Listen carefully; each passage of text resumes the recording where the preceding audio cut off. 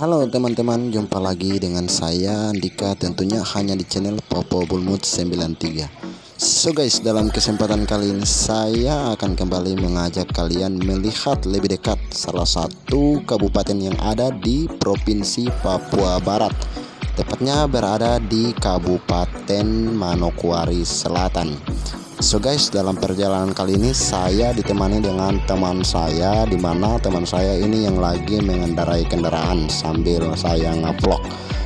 So, uh, dalam lanjutnya bagaimana keseruan perjalanan hari ini dan bagaimana situasi kabupaten yang ada di Kabupaten Manokwari Selatan. Simak terus video ini sampai dengan selesai. Come on.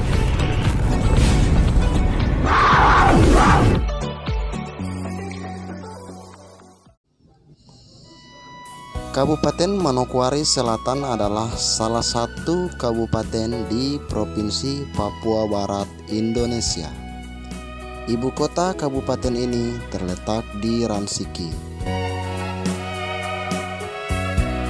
Kabupaten Manokwari Selatan merupakan pemekaran dari Kabupaten Manokwari yang secara resmi dimekarkan pada tanggal 17 November 2012 bersamaan dengan pemekaran Kabupaten Pegunungan Arfak.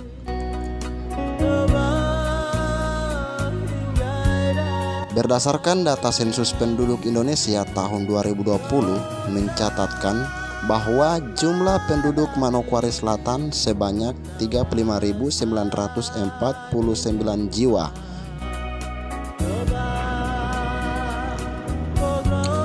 Kabupaten ini berada di bagian timur Papua Barat yang berjarak sekitar 109 km dari kota Manokwari ke arah selatan. Luas wilayahnya adalah 2812,44 km persegi atau 2,82 persen dari total wilayah Papua Barat. Untuk batas-batas wilayahnya adalah sebagai berikut. Di sebelah bagian utara Kabupaten Manokwari di sebelah timur Kabupaten Teluk Kondama atau Teluk Cendrawasi, di bagian selatan Kabupaten Teluk Bintuni dan Kabupaten Teluk Kondama. Sedangkan di bagian barat adalah Kabupaten Pegunungan Arfak dan Kabupaten Teluk Bintuni. Untuk gambaran kondisi wilayah yang ada di Kabupaten Manokwari Selatan yang terbagi ke dalam dua tipologi wilayah yaitu pesisir dan pegunungan.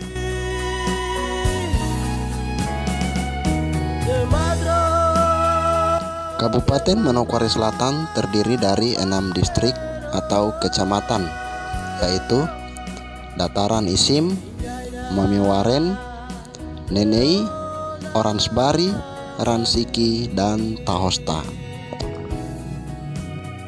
Bupati saat ini di Kabupaten Manokwari Selatan yaitu Bapak Markus Waran yang diwakili oleh Bapak Wempi Weli Renteng.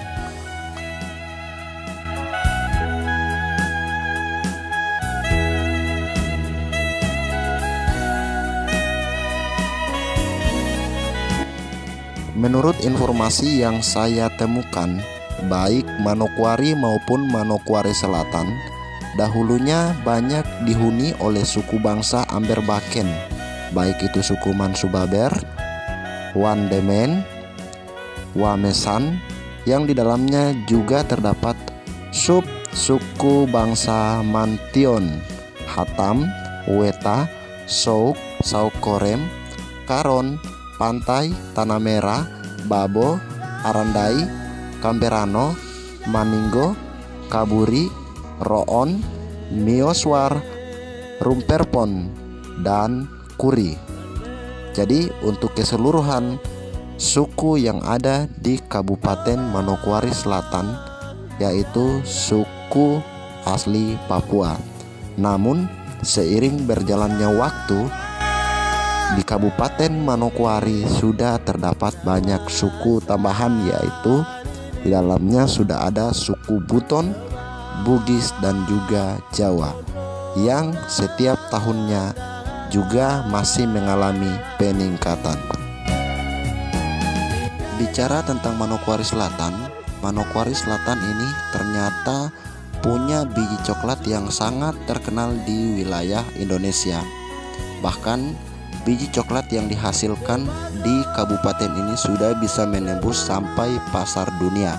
Tak tanggung-tanggung, biji coklat ini mampu menarik perhatian pembuat coklat di Swiss dan juga Prancis. Untuk letak perkebunan coklat yang ada di kabupaten ini sangatlah dekat dengan kota Ransiki. Jadi, jika teman-teman semua ingin mengunjungi atau mungkin melihat situasi dan lokasinya, bisa langsung ke tempatnya. Oke, saya rasa untuk video kali ini saya akan cukupkan sampai di sini dulu.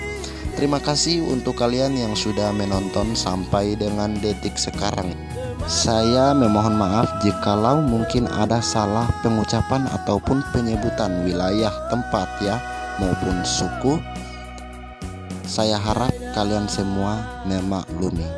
Oke, jangan lupa berikan atensi kalian dengan cara like, komen, dan juga subscribe.